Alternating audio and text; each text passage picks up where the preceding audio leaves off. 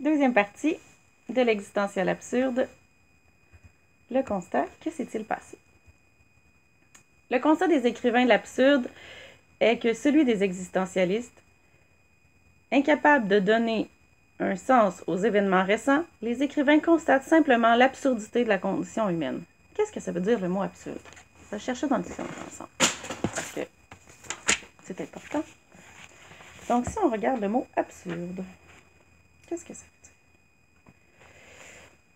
Ben, vous allez dire, ah ben là, Cynthia, t'aurais dû le chercher dans le dictionnaire avant. Ben oui, je sais. Mais je suis comme ça. Je suis spontanée. Bon, absurde. Absurde. Contraire à la raison, au bon sens, à la logique. Déraisonnable, inepte, insensé. Si on continue, parce qu'il y a plus qu'une définition. Euh, qui est absurde, oui, ça va. Hein?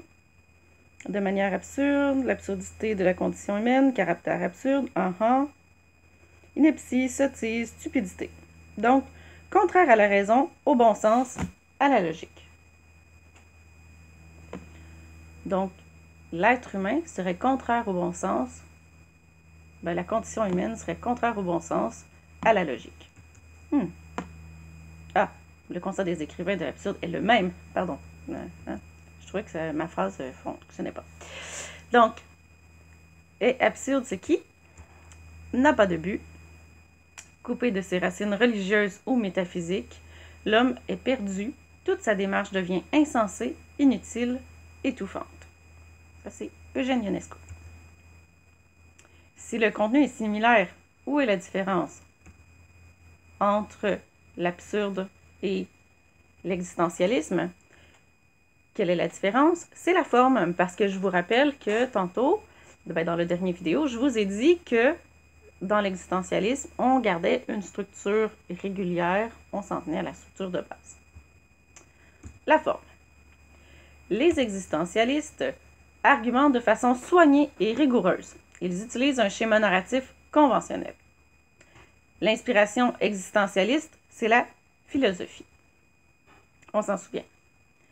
Parce que probablement que vous l'avez vu, ensemble, vous l'avez vu dans ou vous allez le voir dans votre cours de philo. Les dramaturges de l'absurde, dramaturge ici fait référence aux écrivains de pièces de théâtre, joignent le contenu à la forme, on montre l'absurdité. Ce qu'on joue sur scène représente l'absurdité de l'existence. L'inspiration absurde, c'est la libération de l'imaginaire. D'ailleurs, les surréalistes ont immédiatement adhéré au mouvement. Quand on parle de libération de l'imaginaire, c'est sûr qu'on a un lien à faire. D'ailleurs, si vous aviez une dissertation à faire à ce sujet sur montre, euh, montrez-moi que l'absurde est présent dans cette pièce et qu'à la fin, dans votre ouverture, faites un lien avec les surréalistes, ce serait parfait. Mais ce ne serait pas le cas. D'accord? Mais ça serait une bonne ouverture à faire. La forme. Dans ce cas, tout peut être absurde. L'histoire, la structure, les personnages, la scénographie, etc. Qu'est-ce que je parle par la scénographie? C'est dans la façon de placer la scène au théâtre. On rejette le réalisme et la logique. On brise des liens qui pourraient rattacher le lecteur au, cliquez, monde concret. Donc, il y a une pièce de théâtre d'ailleurs de euh, Ionesco qui s'appelle Les chaises. il y a à peu près 50 euh, chaises sur la scène. Un moment en plein milieu, il y en a une. Un moment il y en a 15. Euh, dans la pièce de théâtre La cantatrice chauve, dont je vais vous envoyer des extraits, je me souviens, c'est une des premières pièces de théâtre que je suis allée voir en tant qu'adulte, si on veut. Euh, j'étais allée quand j'étais au secondaire, bon, euh, j'étais allée voir des pièces de théâtre. Mais par moi-même, c'est à ce moment-là, mon, mon, conjoint était au cégep, bon, puis il m'a dit Je m'en vais voir une pièce de théâtre, ça s'appelle La cantatrice chauve, c'est de Ionesco, veux-tu venir avec moi Moi, j'ai aucune idée de quoi il me parle, mais tu sais, on vient de commencer à sortir ensemble. Je dis Ben oui, oui, oui. On arrive là, et la pièce de théâtre se déroule en plein centre. Il y a des estrades tout autour de la, pièce, de la scène. Donc, en partant, si vous connaissez un peu le théâtre, on brise la règle du quatrième mur.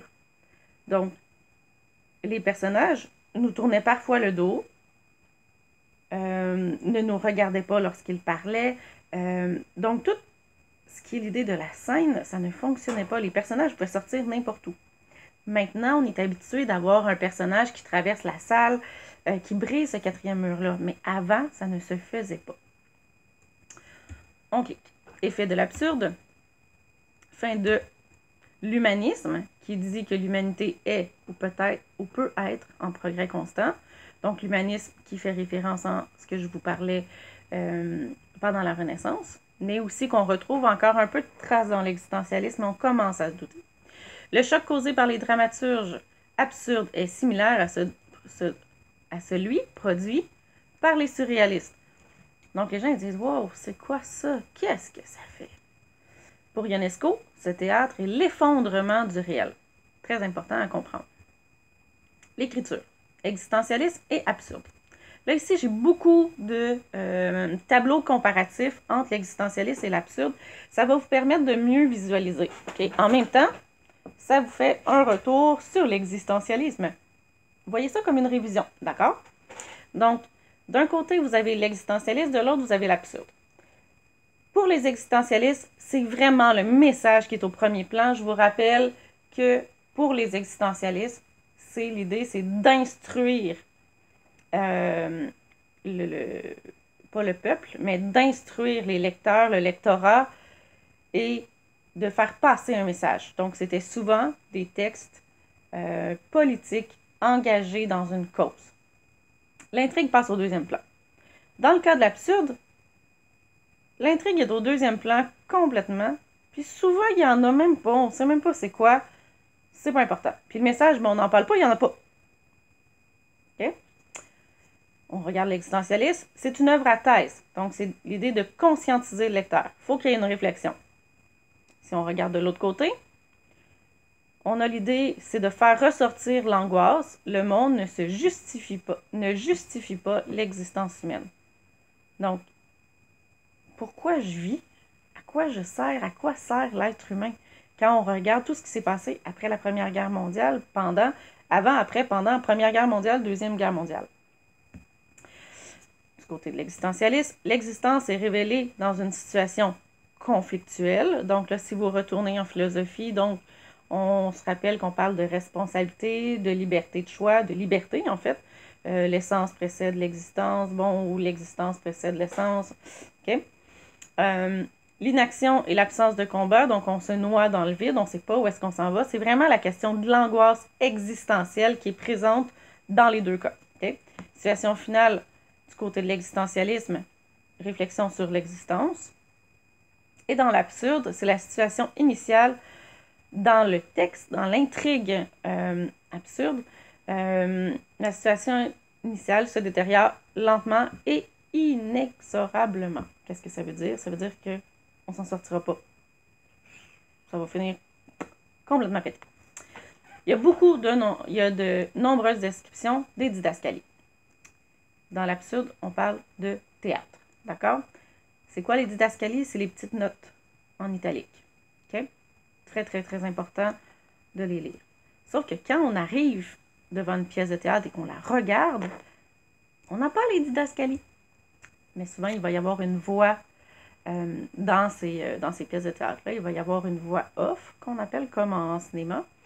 Donc, il va y avoir un narrateur externe qu'on ne verra pas, mais qui va nommer les didascalies. Le cadre spatio-temporel est flou, donc, toujours dans le cas de, euh, de l'absurde. Pas de repère de temps. On ne sait pas ça se passe quand, on ne sait pas ça se passe où.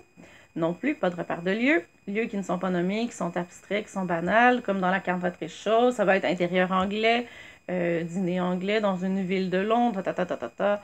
Euh, nous avons un couple anglais qui prend un thé anglais. Pourquoi laisser un tel flou? pour donner une dimension universelle au message. Donc là, c'est sûr que quand je vous parle de la cantatrice chauve, c'est très spécifique anglais, mais c'est pour vous donner le ton. Donc, faire euh, des préjugés immenses que ça devient absurde. Euh, les problèmes ne découlent pas d'un seul contexte. Ils se rattachent à la condition de tous les humains, victimes des mêmes angoisses et emportés par la même destinée absurde. Donc, c'est l'idée de une dimension universelle, c'est que peu importe où est-ce qu'on habite dans le monde, on a tous les mêmes réflexions existentielles.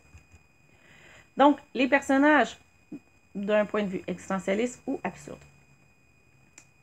Pour les existentialistes, le sort n'est pas scellé, les personnages doivent donner un sens à leur vie, justifier leur action et assumer la responsabilité de leur existence.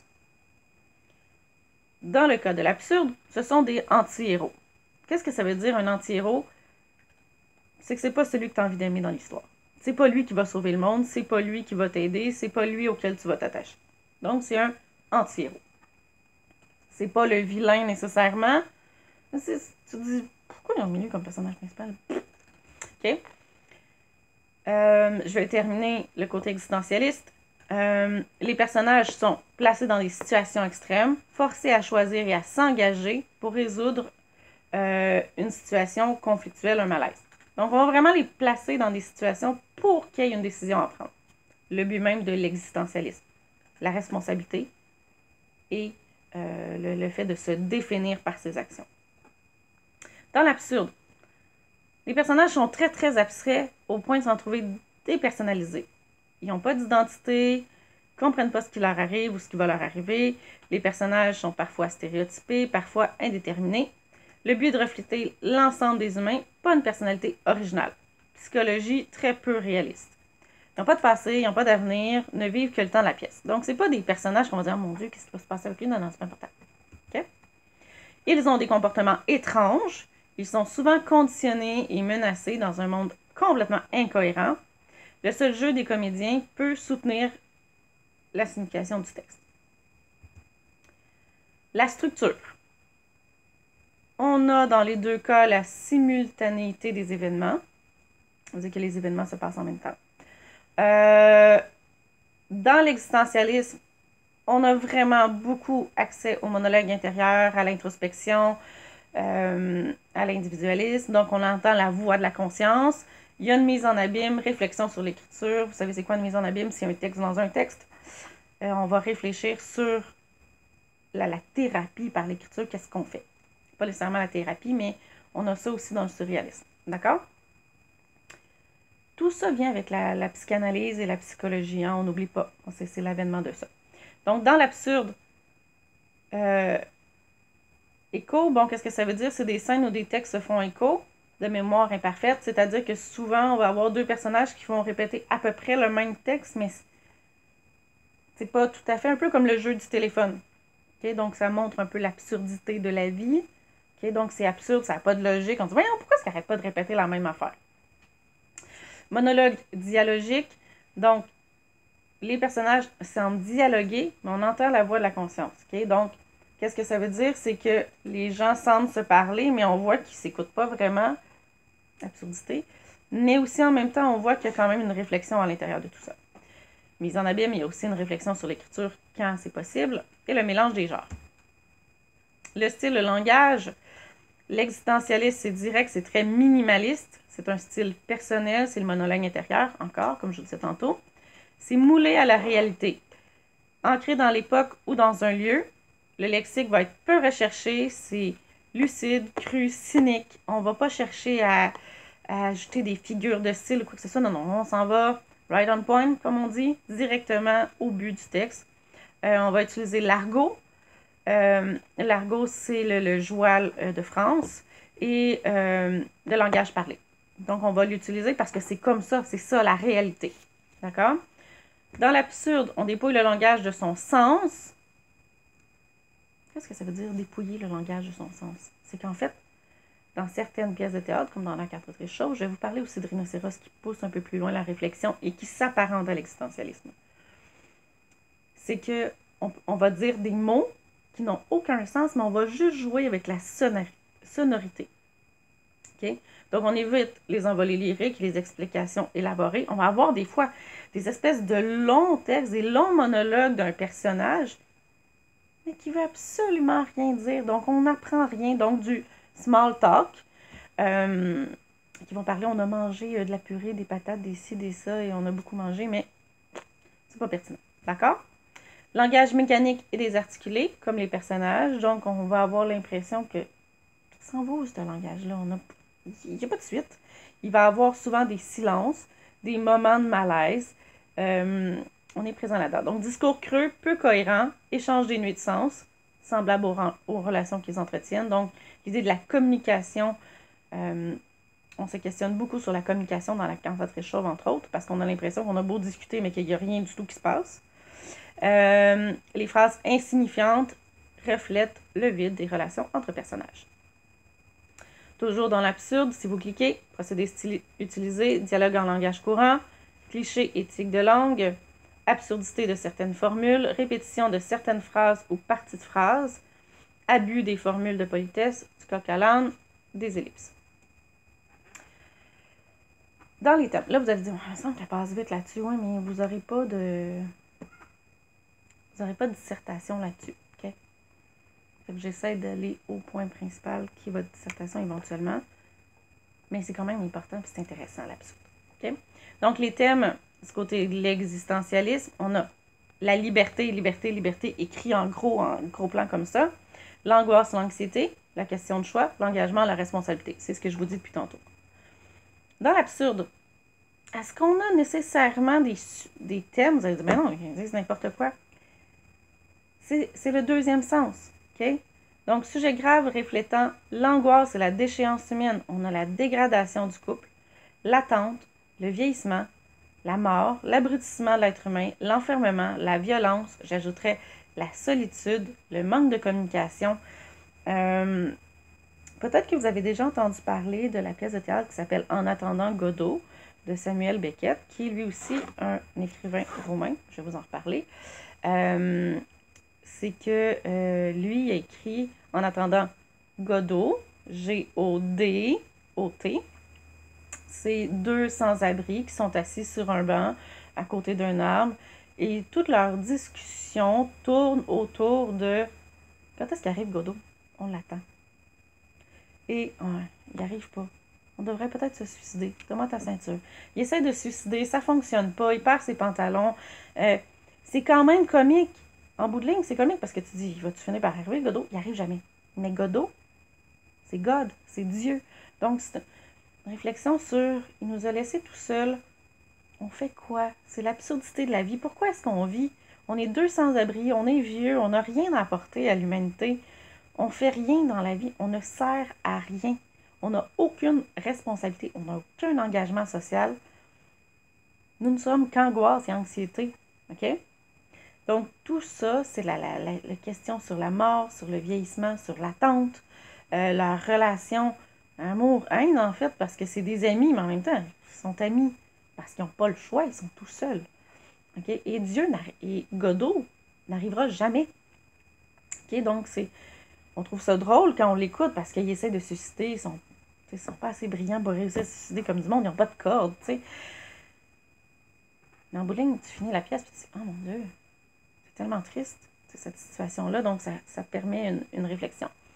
Donc, pourtant, le pessimisme et la chute vers le néant sont contrebalancés par l'humour absurde. Donc, l'humour provient de l'absurde des situations. Donc, comme je vous disais, qui essaie de sucer, on trouve ça drôle, mais en même temps, c'est pas drôle. Mettre à jour des conflits humains dans des situations extrêmes. Répétition et objet. Si vous cliquez, les nombreuses répétitions dans les gestes, dans le langage, révèlent plus qu'il ne paraît. L'homme lui-même prononce ses paroles et accomplit ses gestes pour oublier qu'il est lui aussi en attente, en attente de la mort absurde.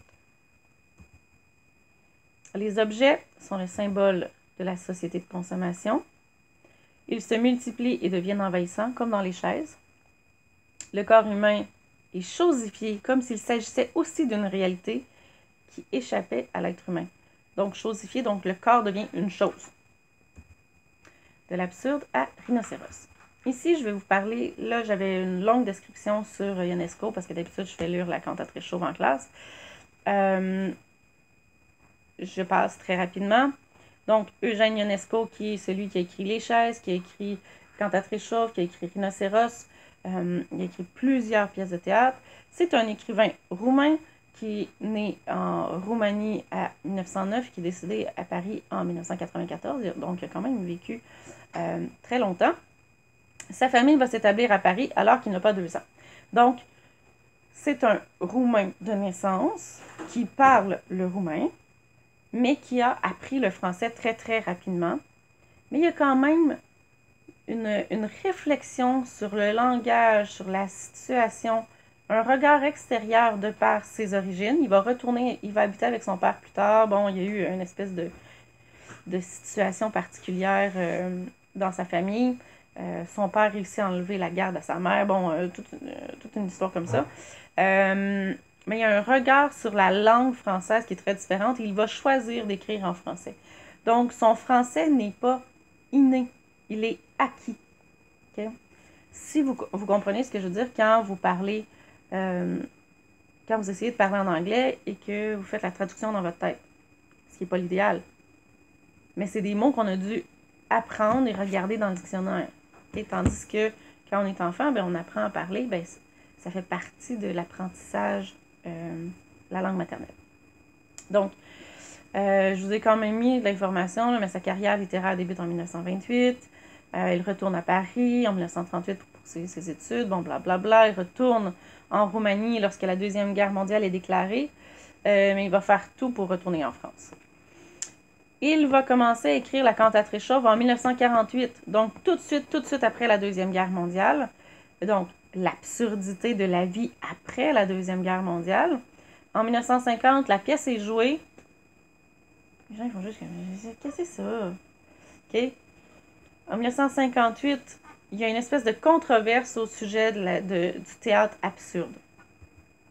Ici, je vous mets l'image de Rhinocéros. Donc, il va se battre vraiment très longtemps pour faire, valoir son, point de vue par rapport euh, au théâtre de l'absurde. Il va finir par être reconnu, mais ça prend du temps. Donc, la pièce de théâtre Rhinocéros, qui est un autre registre complètement que la cantatrice chauve. D'ailleurs, on ne fait mention qu'une seule fois de la cantatrice chauve dans la pièce et ça n'a aucun lien, donc juste le titre montre l'absurdité. Euh, la pièce de théâtre Rhinocéros est écrite en 59, jouée pour la première fois en 60. C'est vraiment l'emblématique du théâtre de l'absurde. C'est une allégorie, figure de style, de la montée des totalitarismes. Moi, je, dirais plutôt totalitariste. Totalitaire, du totalitarisme totalitarisme. Essayez ça de dire vite. Essayez de dire ça vite.